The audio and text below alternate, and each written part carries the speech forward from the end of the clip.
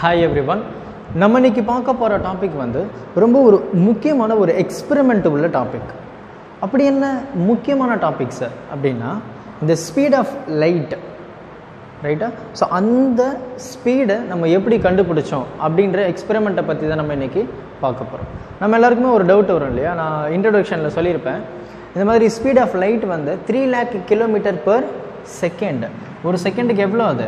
Three into ten to the power eight metre per second அப்போ இதை நம்ம கிலோமீட்டருக்கு கன்வெர்ட் பண்ணோம் அப்படின்னா ஒரு செகண்டுக்கு மூணு லட்சம் கிலோமீட்டர் வந்து இதால் ட்ராவல் பண்ண முடியும். இது எப்படி சார் கால்குலேட் பண்ண முடியும்? அப்படின்னு நம்ம எல்லாருக்குமே வந்து ஏன் எனக்குமே வந்து அது எப்படி கால்குலேட் பண்ணாங்க அப்படின்றது நிறைய கொஷின்ஸ் எனக்கு இருந்தது. அப்போ இந்த டாபிக் மூலயமா அந்த கொஷின் எனக்கு கிளியர் ஆகிடும் உங்களுக்கும் கிளியர் ஆகிடும்னு நான் நம்புகிறேன் எனக்கு கிளியர் சரியா? ஸோ அப்போ இதை எப்படி நம்ம கண்டுபிடிக்கிறோம்? ஒரு செகண்டுக்கு மூணு லட்சம் கிலோமீட்டர்ன்றது ரொம்ப அதிகபட்சமான வேகம் இல்லையா?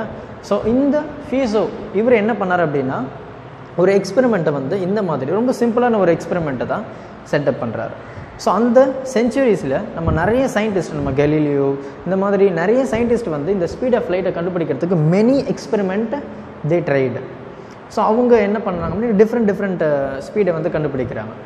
ஸோ இந்த கலிலியோ வந்து என்ன சொல்லியிருப்பார் அப்படின்னா இந்த ஸ்பீட் ஆஃப் லைட் வந்து ரொம்பவும் பயங்கரமான வேகத்தில் இருக்குது அப்படின்னு சொல்லி சொல்லியிருப்பார்.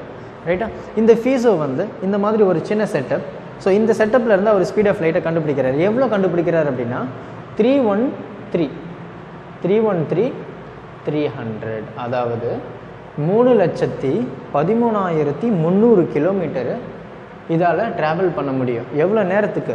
ஒரு செகண்டுக்கு ரைட்டா அப்போது சார் நம்ம த்ரீ லேக் கிலோமீட்டர் தானே பார்த்தோம். இங்கே என்ன sir three lakh thirteen thousand three hundred kilometre சொல்கிறீங்க இருக்குது இந்த ஃபீஸோ வந்து கண்டுபிடிச்ச ஸ்பீடு இவ்வளோ ஆனால் இந்த ஃபீஸோ எக்ஸ்பெரிமெண்ட்டை சின்னதாக ஆல்டர் பண்ணுற ஒரு சயின்டிஸ்ட் அவர் பேர் என்ன அப்படின்னா ஃபோகால்ட் ஸோ இவர் என்ன பண்ணுறாரு இந்த ஃபீஸோ எக்ஸ்பெரிமெண்ட்டை சின்னதாக ஆல்டர் பண்ணுறாரு ஆல்டர் பண்ணி அந்த லைட்டோட ஸ்பீடை வந்து three into ten to power eight which means எக்ஸாக்டாக சொல்லணும் அப்படின்னா two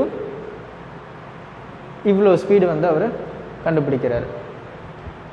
Two lakh ninety nine thousand so இதுதான் வந்து அப்போ நம்ம டோட்டலாக ரவுண்ட் ஆஃப் பண்ணும்போது த்ரீ லேக் கிலோமீட்டர் அப்படின்னு சொல்கிறாங்க சரியா?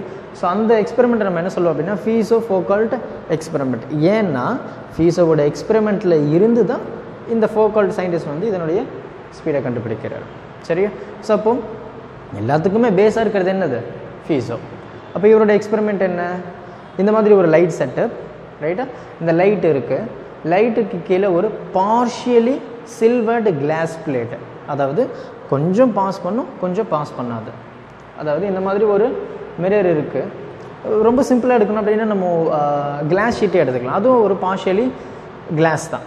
அப்போ நம்ம கொஞ்சம் லைட் பாஸ் பண்ணுறோம் அப்படின்னா கொஞ்சம் இப்படி ரிஃப்ளெக்ட் ஆகும் கொஞ்சம் இப்படி வெளியே வரும் இல்லையா? இதுதான் பார்ஷியலி சில்வர்டு கிளாஸ் பிளேட் இங்கே யூஸ் பண்ணுறது ஸோ அந்த கிளாஸ் பிளேட்டு அது எப்படி வச்சுருப்பாங்க அப்படின்னா ஃபார்ட்டி ஃபைவ் டிகிரியில் டில்ட் பண்ணி வச்சுருக்காங்க. ஃபார்ட்டி ஃபைவ் டிகிரியில் டில்ட்டு கொஞ்சம் சாய்ச்சி வச்சுருக்காங்க சரியா?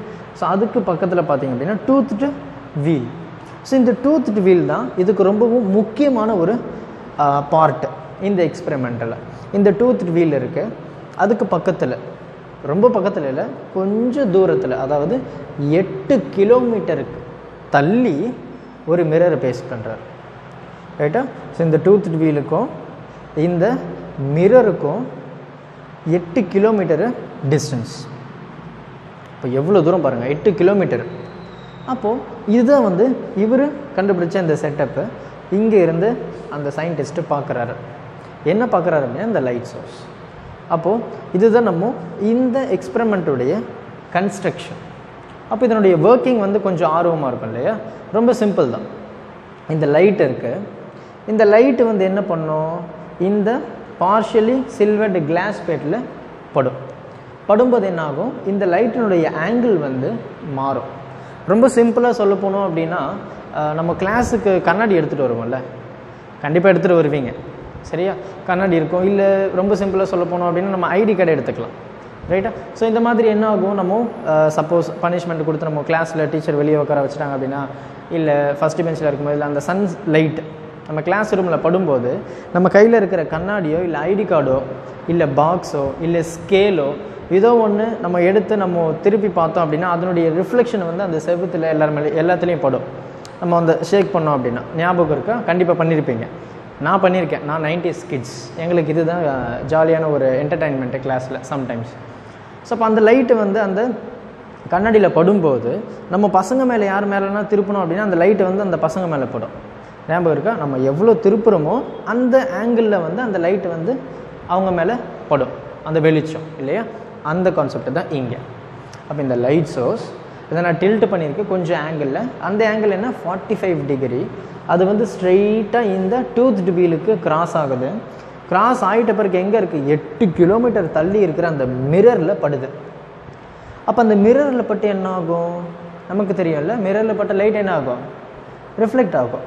அந்த லைட் இங்கே பட்டு மறுபடியும் ரிஃப்ளெக்ட் ஆகிட்டு இந்த டூத் பீலில் கிராஸ் பண்ணி இந்த பார்ஷியலி கிளாஸ் பிளேட்டில் படும்.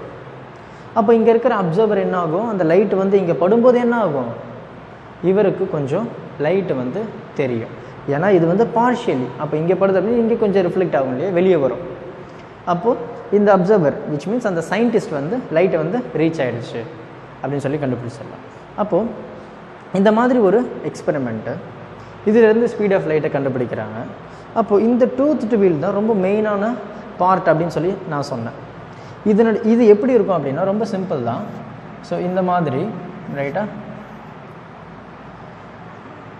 சார் கொஞ்சம் டயக்ராமில் வீக்கு அட்ஜஸ்ட் பண்ணிக்கோங்க.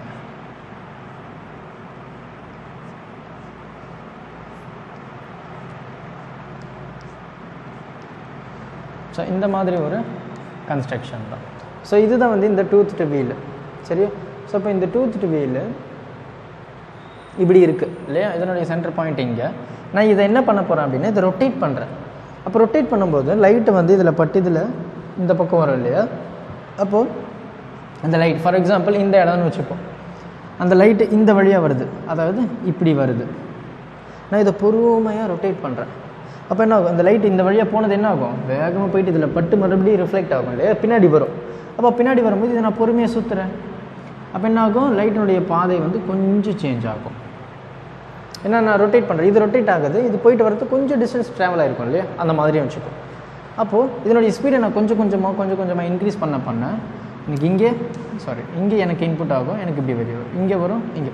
அப்போ எனக்கு கொஞ்சம் இந்த லைட்டை வந்து தள்ளி தள்ளி தள்ளி தள்ளி போகும். ஏன்னா இதை நான் ரொட்டேட் பண்ணுறேன் ஒரு செட்டிங் பாயிண்டில் என்ன ஆகும்?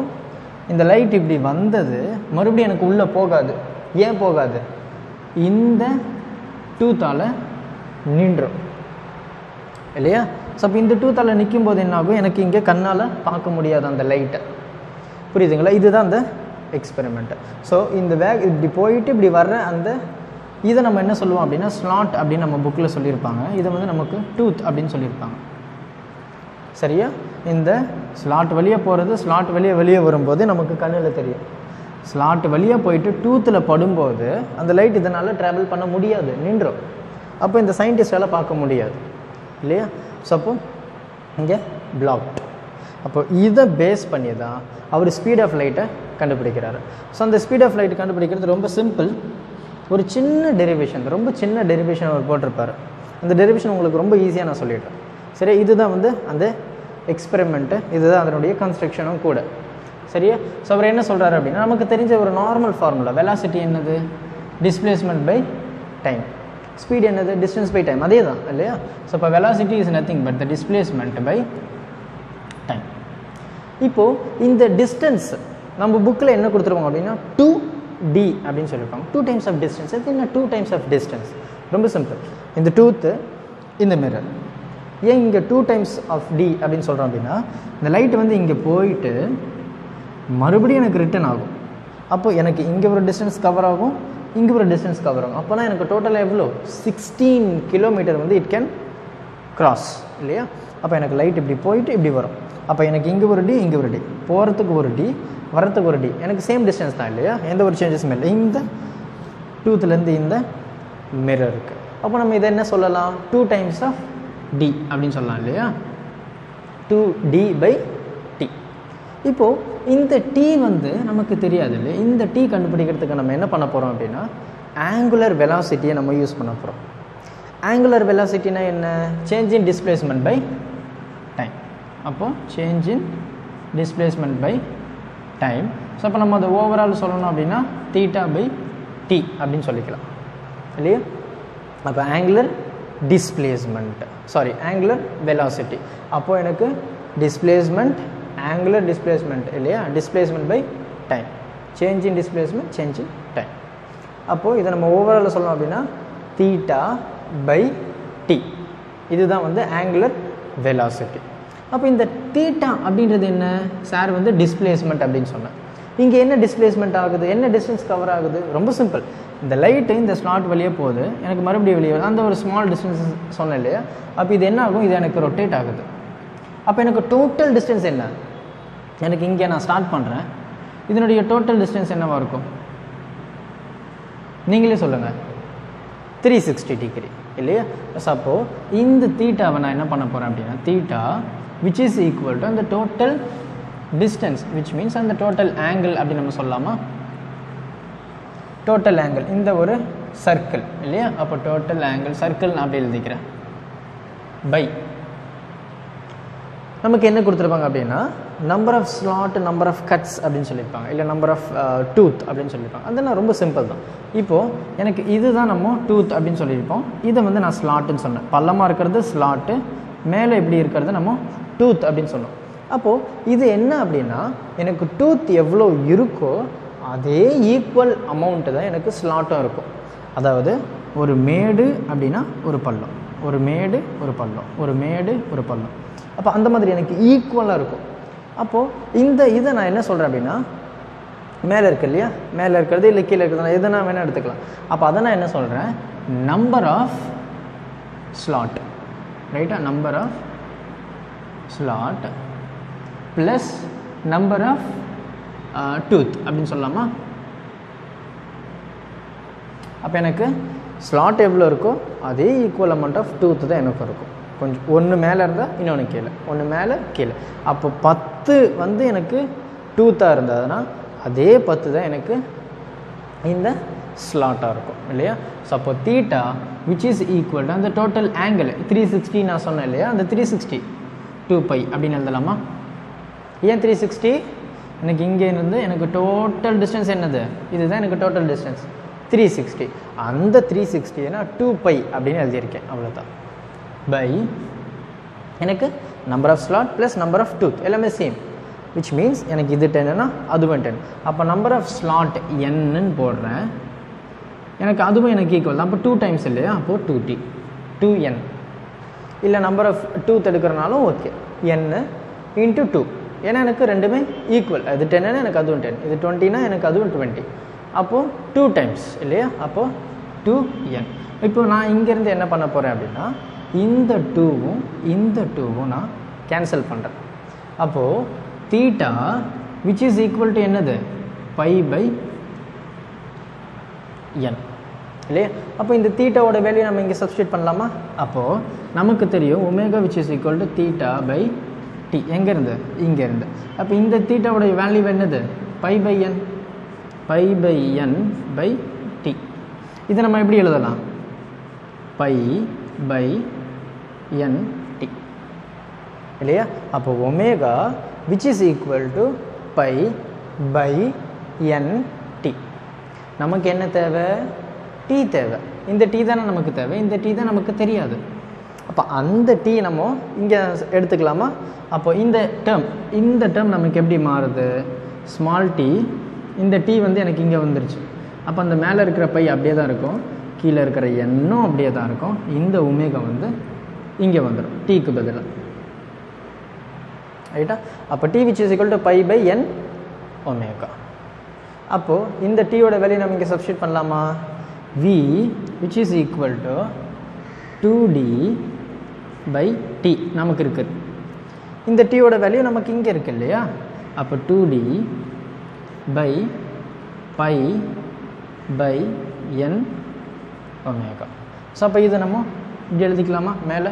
அப்போது V which is equal to இந்த டூ டி நமக்கு இது என்னது? N omega by pi. இதுதான் நான் வந்து நமக்கு இருக்கிற velocity so speed of light இதுதான். அப்போது அதுலேருந்து அவர் என்ன ஸ்பீடு கண்டுபிடிக்கிறார் அப்படின்னா three one three three lakh thirteen thousand three hundred kilometre per second so இதை வந்து மறுபடியும் ரீஅரேஞ்ச் பண்ணுறாரு யார்? ஃபோகால்ட் ரைட் ஸோ அதனுடைய எக்ஸ்பெரிமெண்ட் என்ன அப்படின்னா ஃபீஸோ ஃபோகால்ட் அப்பேரட்டஸ் நான் சொன்னேன் இல்லையா அவர் வந்து ஒரு சின்ன ஆல்டர் பண்ணுறாரு என்ன ஆல்டர் பண்ணுறாரு அப்படின்னா in in this tooth wheel இந்த டூத் வீலுக்கு பதிலாக அவர் ஒரு மிரர் வைக்கிறாரு. ரொட்டேட்டிங் மிரர் அப்போ ரொட்டேட்டிங் மிரரை வச்சு அவர் ஸ்பீட் ஆஃப் லைட்டு கண்டுபிடிக்கிறாரு. அந்த ஸ்பீட் ஆஃப் லைட் வந்து நான் சொன்னேன் இல்லையா? Two nine nine nine seven six so approximately three lakh kilometre per second so அதை தான் வந்து நம்ம ஃபைனலைஸ் பண்ணிவிட்டு இதுதான் ஸ்பீட் ஆஃப் லைட் அப்படின்னு சொல்லிட்டு சொல்லிட்டாங்க. ரைட்டா ஸோ இந்த எக்ஸ்பெரிமெண்ட் கிளியராக புரிஞ்சிருக்கும். பொறுமையாக பாருங்கள் தெளிவாக சொல்லியிருக்கேன். Thank you help others with a smile